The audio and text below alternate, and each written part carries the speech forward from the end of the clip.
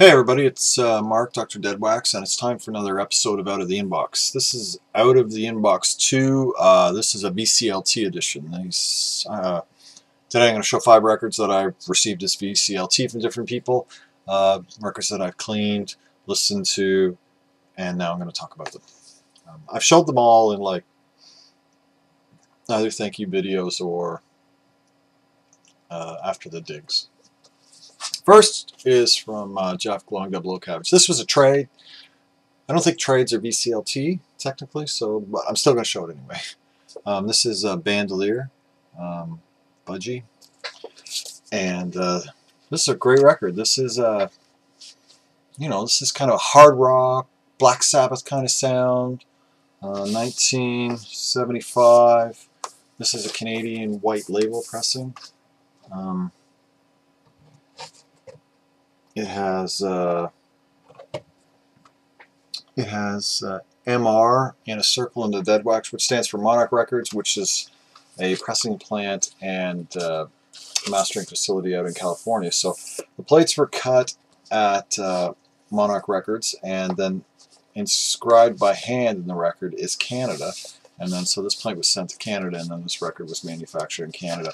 And that was kind of standard procedure. Um, oftentimes the first plate were cut for the world in the same place, and then they were sent out so the records could be pressed for the release. And then subsequently, uh, like a safety master would be sent, or copies of safety masters would be sent to the different uh, branch offices of record labels for them to cut domestic plates for subsequent uh, pressings of the record. So, so this is a, a first Canadian pressing on a U.S. cut plate uh, white label promo, and this is this is just great. 1975, you know, kind of hard rock, Black Sabbathy, deep purpley kind of stuff, and I really like it.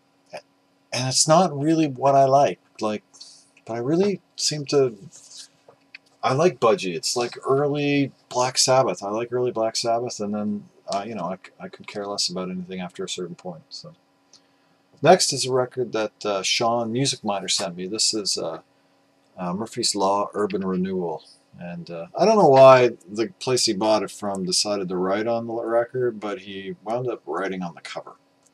But uh, and it's got this amazing price tag from my favorite record store from when I was a kid. Um, well, it's just going to refuse to focus. Eh? Uh, it's from Peter Dunn's Vinyl Museum.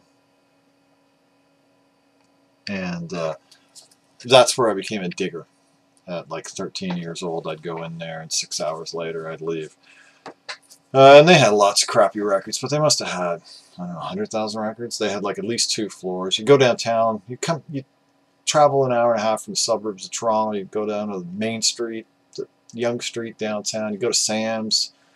You buy a new record that was like far too much money, and you'd walk by A&A's and you'd go to uh, Vinyl Museum, Peter Dunn's Vinyl Museum, and you just go in there and all the records were used, and they were like a buck, two bucks, three bucks. They were also sealed. They had like deletes. This this was sealed when I got it. I opened it in the video where Sean gave it to me or I never would have opened it. Um, and uh, I love uh, Vinyl. I know, I think Spud Boy worked for him for a while, so this is on uh, the ABC Dunhill label. And it has uh, MRC uh, inscribed in the dead wax, and that's for the uh, master cutting room in New York City.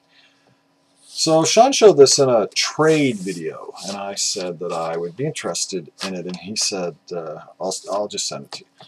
And he did, and uh, the reason why I was interested in it was, it I don't know, it just looked like something like if I was digging, I would, I would stop at this.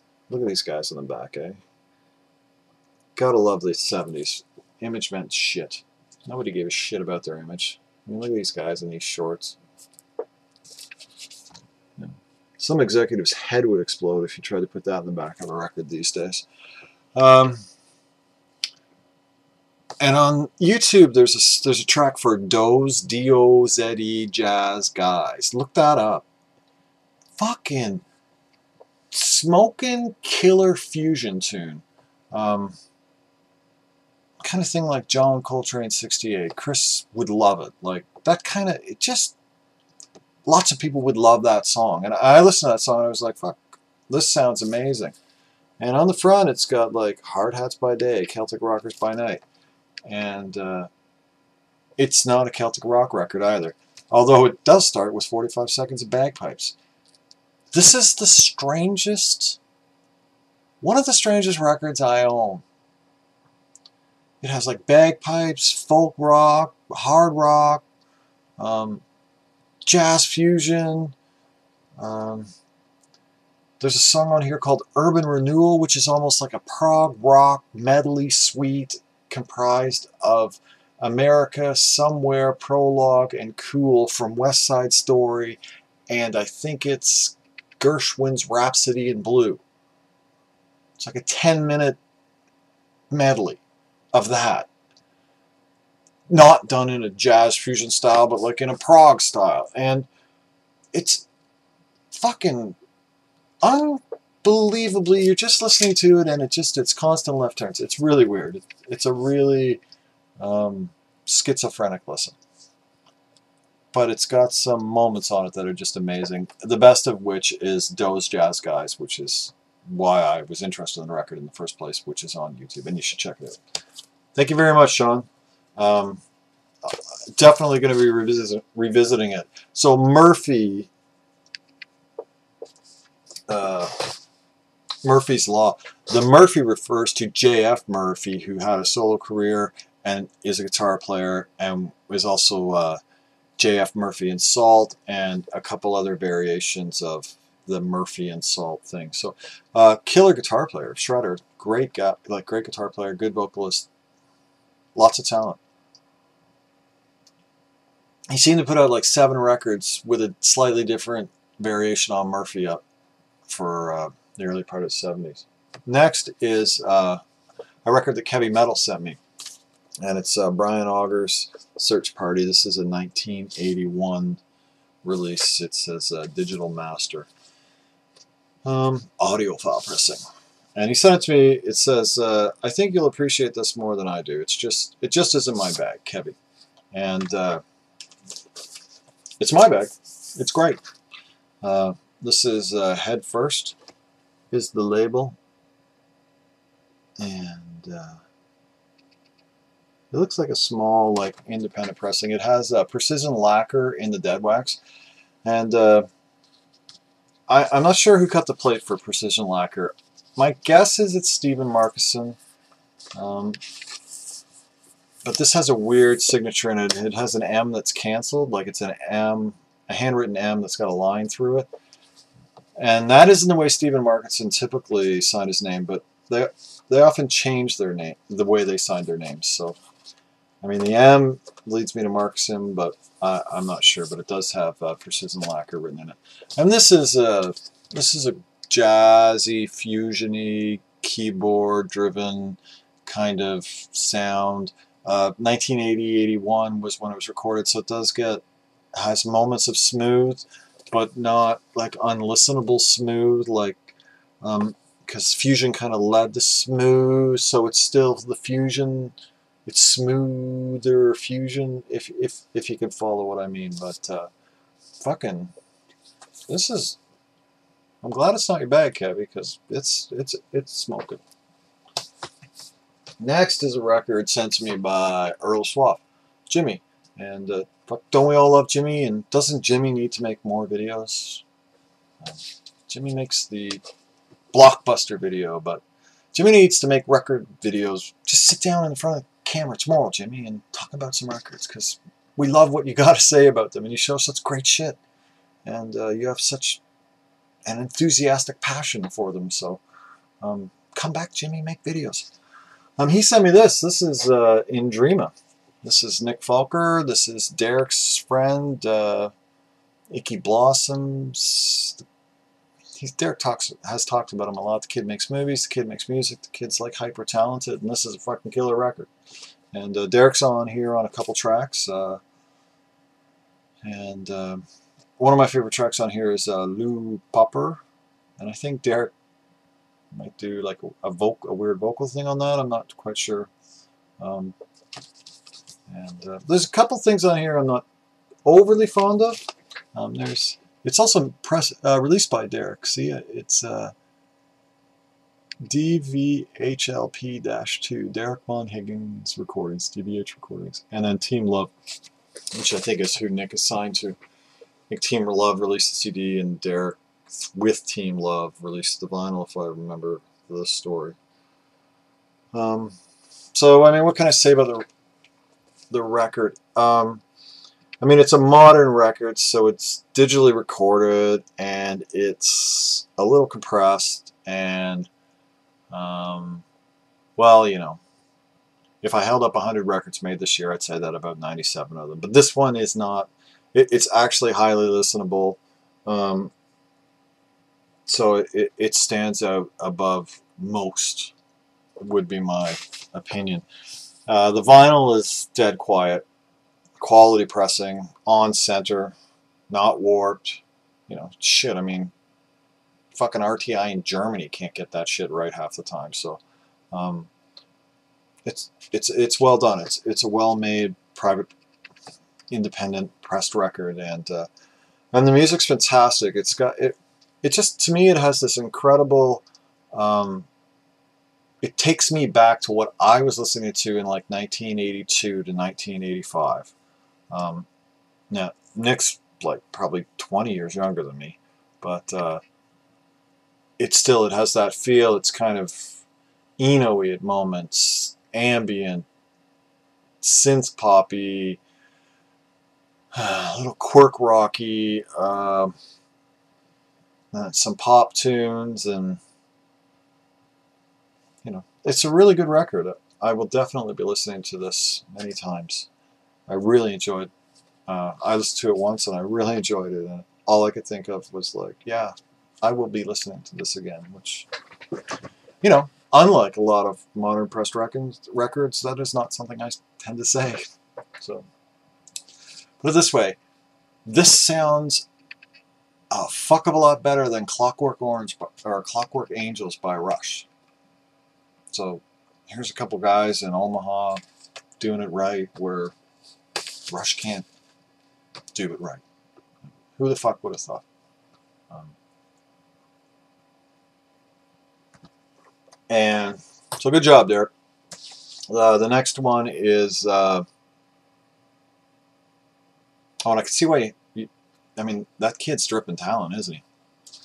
Uh, and the next and last one is, uh, this is from Alan. He's a subscriber. He doesn't make videos, but uh, him and I are actually friends now from like, we shoot emails back to back and forth all the time for like probably a year and a half and uh, I think I consider him a really good friend. So uh, he sent me this. This is a record I've been looking for for a long time. Po Post Death of Vinyl, Vinyl, 1991. Bruce Cockburn, Nothing But a Burning Light, um, and this is a great record. It, if you're not a Bruce Cockburn fan, this is not essential. Like, let's just get that out of the way.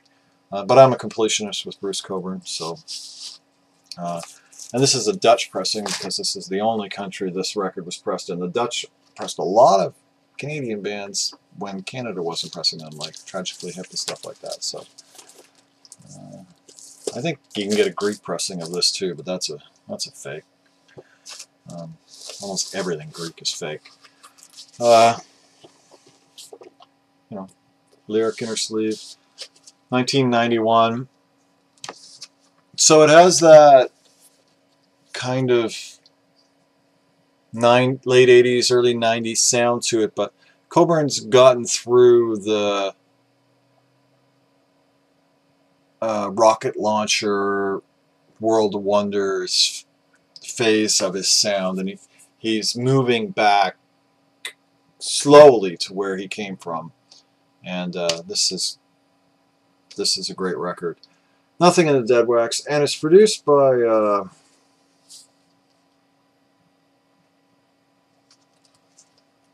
Oh shit, I forgot the guy's name. It's produced by. Uh, it's not Jeff Lynne. T-Bone Burnett. It's produced by T-Bone Burnett, so it's it's it's well engineered. Like I said, the first five Bruce Cockburn records are, in my opinion, essential. They're beautiful folk rock records that are gloriously produced and engineered and just audiophile wet dreams. But uh, I'm thrilled to have this record. Uh, like with Van Morrison, I am just desperately trying to um, get the post 90 Death of Vinyl records from the uh, Cockburn and uh, and uh, Van Morrison, and they're impossible to get, and they get stupid expensive. So it was awesome that Alan sent this to me as a gift. Thank you very much, Alan. So again, just to wrap up, uh, Bruce Cockburn, Nothing But a Burning Light, um, which is a great record. Uh, In from Indreama, fantastic record. Uh, Brian Auger, Search Party, just a great record. Murphy's Law Urban Renewal. Probably the most schizophrenic record in my collection, but still a really interesting, quirky listen that I will be visiting again to see what I can, what else it's gonna, I mean, music, they're all great players, so, and last but not least, uh, Budgie Bandolier, which is a great, uh, hard rock record uh, from Jeff. Thank you very much. So, thanks everybody for the VCLT. I really appreciate it. And uh, I don't know if I mentioned this, but I'm drinking Warlock from Southern Tier. This is uh, their this year's. It's a pumpkin stout from this year, and it's really good. It's fantastic. So that's it, everybody. Have a great day. Keep the record spinning.